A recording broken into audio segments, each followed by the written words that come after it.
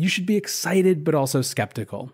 You should watch what people do rather than what they say. And you should always try to game out what's being said to understand where the motivations are and what the potential second order consequences might be. We're entering into one of the wildest times in the history of Bitcoin, and it's only getting started, and it's gonna get crazier from here. Welcome back to The Breakdown with me, NLW. It's a daily podcast on macro, Bitcoin, and the big picture power shifts remaking our world. The Breakdown is sponsored by Nexo.io and produced and distributed by Coindesk. What's going on, guys? It is Wednesday, February 3rd, and today we're talking about Michael Saylor's mission to orange pill 1,400 corporations. First up, however, let's do the brief. First, on the brief today, an update on the Ant Jack Ma situation. So, quick background I've discussed this on a couple of shows now, but last fall, China at the very last minute canceled Ant's IPO after Jack Ma, the founder of that company, made some statements that they did not like. For the next few months, Jack Ma did not appear in any media. He even canceled his appearance on a TV show that he had been hosting. People were fearing the worst. There were all sorts of crazy rumors flying around. Last week, he resurfaced, much to the delight of markets. Although, as I mentioned then, in a very minor way, he appeared for less than a minute on a live stream about teachers. But either way, today we got a little bit more information about the company in question, the Ant Group. The Ant Group will be combining all business segments, including its blockchain arm, into a financial holding company which will have bank style capital requirements. This is the agreement they've come to with the Chinese government. And effectively, what it does is it makes a fintech company regulated much more like a bank. In other words, the Chinese government gets much more visibility into their operations. Markets are at least happy or relieved that it looks unlikely that Ant will have to spin out part of their operations, which was one of the potential scenarios. I think that Ant is one of the clear battle lines around how the Chinese Communist Party is going to interact with business in the years going forward, so I think it's important to keep an eye on. Next up on the brief today, a story about another massive tech company, although this one a little bit closer to home in the US. Jeff Bezos is leaving the CEO role at Amazon. He's moving from CEO to executive chairman and will be replaced by Andy Jassy, who's currently the head of Amazon Web Services. On the one hand, this is super weird feeling. Bezos is Amazon in the way that Jobs was Apple, or at least that's how many of us see it. A Bloomberg piece makes the point, however, that Bezos has a lot of other interests that are sort of languishing or even actively interfering with one another. The Washington Post has impacted his Amazon business negatively more recently, for example, being snubbed with certain political leaders. The treatment of workers in Amazon factories is impacting his legitimacy with his philanthropic efforts. And of course, there's his space focused company Blue Origin, which, despite being a couple years older than SpaceX, seems super, super far behind. That one may just simply require more of Bezos' time to actually get to the place that it needs to be. There's also the next set of challenges that lie ahead for Amazon. This next stage of revenue is even harder, and there's very, very few people in the world who have ever had to deal with companies this big. There also could be serious regulatory headwinds. While Amazon has somehow, mysteriously to me, stayed out of the political firing line, I don't think that's likely to last forever, and it could be that Andy Jassy presents less of a juicy target than the founder and embodiment of the company might. Finally, on the brief today, Miami is making a play to be America's new crypto capital. So, just a quick update on Miami. I did a show a few weeks ago explaining Mayor Francis Suarez's explosion onto the national scene via Twitter his attempts to make Miami a destination for not just the tech industry, but the crypto industry specifically. We're now getting more color on what his strategy is actually going to be vis a vis Bitcoin and crypto. According to Twitter and a recent interview with Coindesk, he's been learning a lot about the rules in Wyoming. He's actually talked with people like Caitlin Long, and he plans on unveiling a set of rules that would make Miami a sandbox as early as next week. He said, We want to make sure that there is no city or state that has more favorable laws and regulations. Indeed, he's made it clear that there's some things he can do as the mayor, but he's also doing a lot of advocating on a state level. In his own backyard, he's looking into Bitcoin payments for municipal employees, and he's also looking to allow residents to use Bitcoin and crypto for other payments and fees. Finally, he said that while he doesn't hold Bitcoin yet, he's going to be making an announcement on that front soon. And with that, let's transition to our main discussion MicroStrategy and Michael Saylor's mission to Orange Pill 1400 corporations. For years and years, there was a narrative around Bitcoin that as soon as the institutions came, the whole industry would be taken to another level. I remember when Bakkt was announced in 2018, many called it the biggest news of the year. This was a crypto focused company that was backed by the Intercontinental Exchange, the same company that owned the New York Stock Exchange. Still, 2018 and 2019 came and went, and with a few notable exceptions, those institutions just didn't come.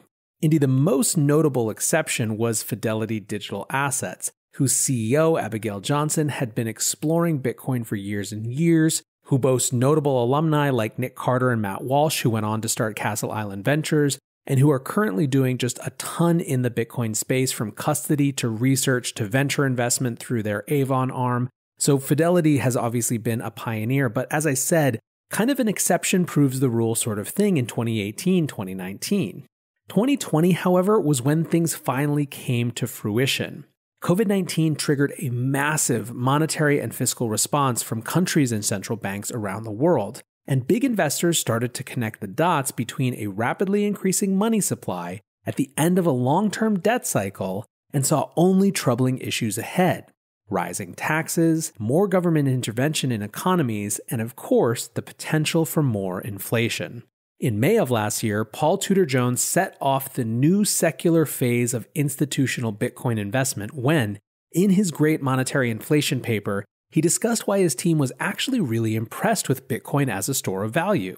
Now, this was just the beginning of a wild year of new entrants into the market that, as we've seen, has catapulted Bitcoin from its years of under 20,000 to the over 30,000 price tag that seems at least currently to be something of a price floor. Now, it's pretty clear to everyone observing that this current rally is being driven at least in part by institutions. But if they are really such a force, we'd probably do well to break apart what we mean when we say institutional investors. This is actually a huge spectrum that have different risk appetites, different pools of capital available, and just different characteristics that make them kind of hard to lump entirely together. The first group that we heard about coming to the Bitcoin space last year were the hedge fund folks Paul Tudor Jones, a little later in the year, Stanley Druckenmiller. And to be honest, this group, alongside just general high net worth individuals, was always going to be the most likely to come in. They have more autonomy over their money. They're supposed to be in the business of making unorthodox bets. So it did seem like a place where if there was going to be an infiltration into the quote unquote institutional space, it was likely to start here. In the fall, however, we saw some more interest from perhaps unexpected sources. Mass Mutual announced that they had made a $100 million Bitcoin investment from their general account facilitated by NYDIG, who they also made a $5 million direct investment in. While this was a very small overall portion of their assets, it's obviously still a pretty significant chunk of change given the size and profile of Bitcoin. This is also especially the case in the context of one, the general risk profile of insurance funds, which is extremely risk adverse, and two, the overall size of that category of companies. The general accounts of major insurance funds in the US, Europe, and Asia actually have more money on their balance sheets than central banks do the opportunity that more of that money might make its way into Bitcoin is pretty unbelievable. The fact that some portion of that money could be in play for Bitcoin could have a pretty dramatic impact on the industry. But of course, there was another group, which was corporate treasuries. In August, news broke that a tech company called MicroStrategy was potentially moving $250 million of its cash reserves into Bitcoin. By September, the final number was over 400 million. And over the next few months, the man behind that move, Michael Saylor, rose to prominence as one of Bitcoin's most powerful new evangelists. One of the colorful metaphors he used on this podcast and others was that as he watched monetary policy evolve in COVID times, it felt to him that leaving his company's reserves in USD was akin to sitting on a giant melting ice cube. A little while after the MicroStrategy announcement, Square became the next big public traded company to move their reserves to Bitcoin, putting $50 million worth into BTC. There have also been a number of other smaller publicly listed companies to follow, mostly in the crypto space, and many more in the private sector. You can actually follow all of this by going to bitcointreasuries.org. And by the way, Michael Saylor and MicroStrategy have continued to accumulate. We got another announcement yesterday that they had bought 10 million more. At this point, they've bought $1.145 billion worth of Bitcoin. Many investors want to be a part of the next bull run. Others seek to build their dream home, finally launch that startup, or fund their education. Try Nexo's instant crypto credit lines and borrow against any major cryptocurrency with no minimum or maximum withdrawal amounts, no fees whatsoever, no credit checks, and flexible repayment. Not to mention the APR starts at just 5.9%. Stay on top of your investment game with Nexo.io. And remember, it's your crypto, your credit, your choice. Get started at Nexo.io. The question is why might this corporate treasury movement matter? First, it is of course validation of the store of value digital gold thesis of Bitcoin. Second, it could represent a potentially massive new source of demand. We've already seen significant price gains as institutions have come in with their larger allocations. Having mainstream corporate America shift even a small amount of balance en masse to Bitcoin could make it a multi trillion dollar asset class incredibly rapidly. That said, up until now, it's been very much a vanguard of companies like MicroStrategy and Square. To go mainstream, this strategy would really require a lot more dominoes to fall. Right now, we have some individual outliers. To become a real trend, more companies would have to follow suit. Well, today we get a little preview of the state of where corporate heads are at as it relates to Bitcoin treasury strategies. For the next two days, Michael Saylor and MicroStrategy are hosting an event called Bitcoin for Corporations. They've said that over 1,400 corporate leaders have signed up to participate, and I want to quickly do a little review of the run of show. Day one, they're calling an overview of Bitcoin corporate strategy and operational considerations. It kicked off with a Bitcoin macro strategy session, which was the one really big rah rah session featuring a conversation between Michael Saylor and Ross Stevens, who's the co founder of NYDIG, the co founder and chairman of Stone Ridge, which is the parent company of NYDIG. And if you look on Twitter, you'll see exactly how that one went. The sound bites from Ross are going to be retweeted, memed, discussed for a very long time. After that session, there were a number of additional practical sessions Bitcoin corporate strategy, corporate playbook, legal considerations, financial considerations. Their summary of the day said that there were five topics macroeconomic environment, outlook, treasury, and investment strategy, investing Bitcoin into the balance sheet or P&L of public and private companies, financial operational systems and execution considerations, legal and regulatory considerations, and then accounting, tax, and audit considerations. One of the most interesting things about the show is that they're actually open sourcing all of their documents alongside these sessions. So, to correspond with that programming I just went through, there's a project roadmap, there's MicroStrategy's Treasury Reserve policy, there's a Bitcoin trading policy, there's contracts for digital asset custodians, there's accounting treatment considerations. These are the real cheat codes for people in that audience. Now, day two, tomorrow, is a little bit different. It's a set of strategic vendors and offerings in the marketplace. So, basically, big companies that can help corporates get up and running in this space pitching what they do. It includes Binance, Coinbase, Kraken, Genesis, Grayscale, Gemini, NYDIG, Fidelity, Galaxy, and Paxos. And keep in mind that these are not the VPs of business development by and large speaking for these organizations. These are primarily the CEOs of these companies. Presumably, that means they're anticipating an audience of decision makers, people who are high enough up and with enough authority that this might be something real rather than just an interesting two day diversion from the normal work week. So, what am I actually watching for from this event? Well, there's four different things I'm looking at. First is who shows up.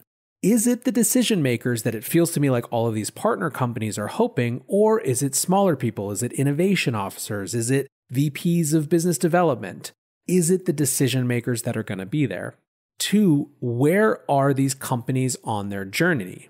In other words, are they ready to make these commitments and dive in, or are they still figuring out if it's right for them? If we just read the tea leaves of the content presented, it's really not very much about inspiring people to make these moves. It is much more about the blueprint for doing them. Ross Stevens, who I just mentioned, helped kick things off with his Bitcoin macro section, is really the only content across the entire two days that's meant to convince people that they should do this versus teach them how they can do this. My presumption then is the expectation of MicroStrategy and the team that put this on is that they have an audience who are basically bought in and ready to actually do something in this space. A third thing I'm looking at is whether we get some juicy announcements designed to coincide with the conference. Will some company in attendance use this as a PR moment to announce that they've gotten involved in the space? We don't know yet whether there will be some corporate announcements, but I certainly know that Bitcoin companies are using it as an occasion to show their increased offering.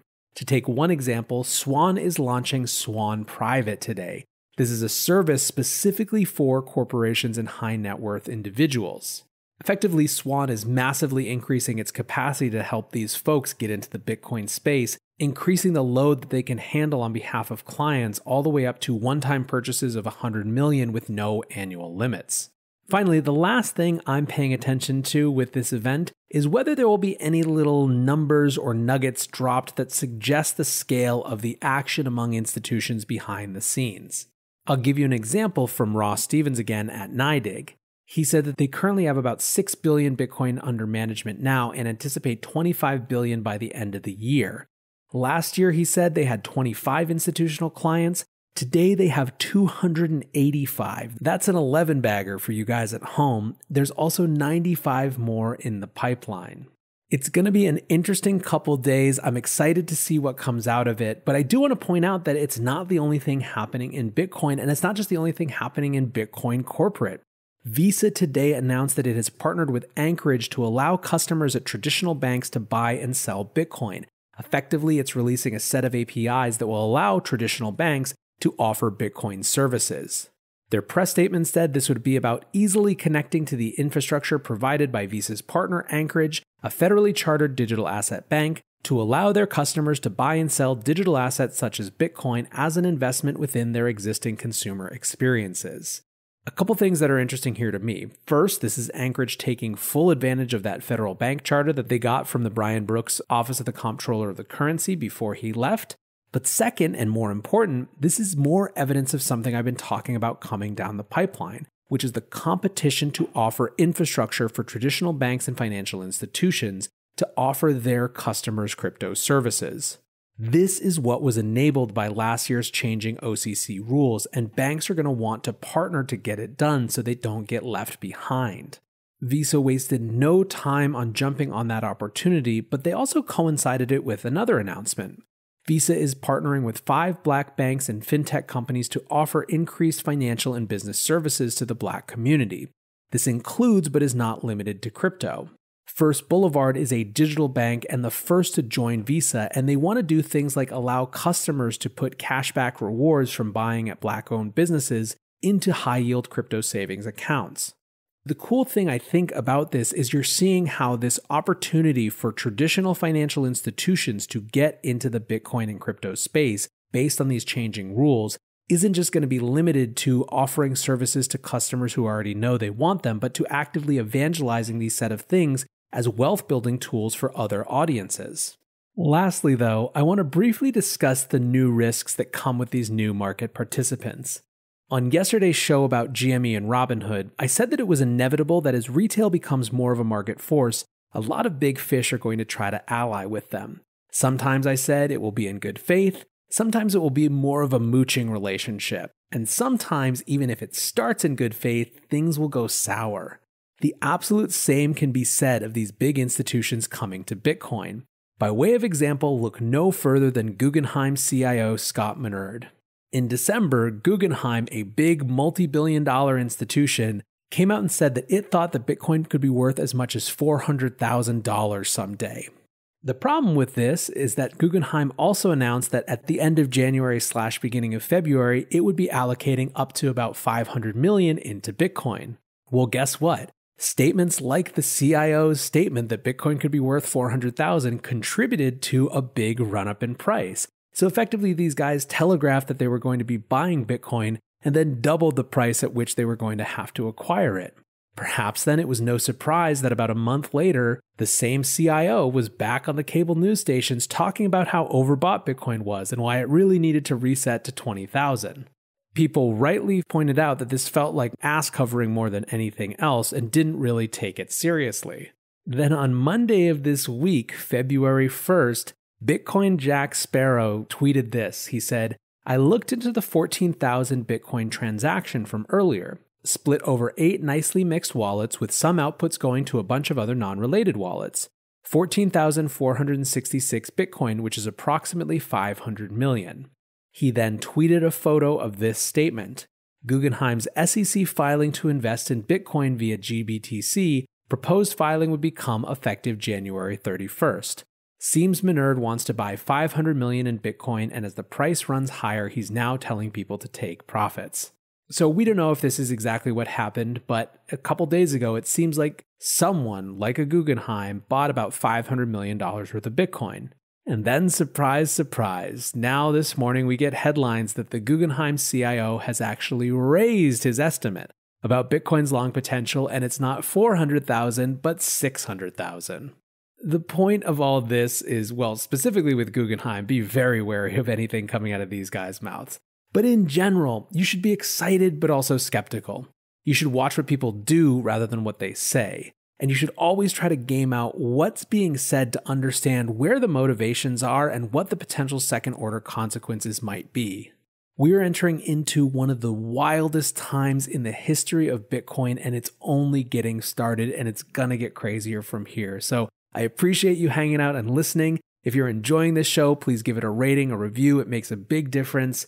Until tomorrow, guys, be safe and take care of each other. Peace.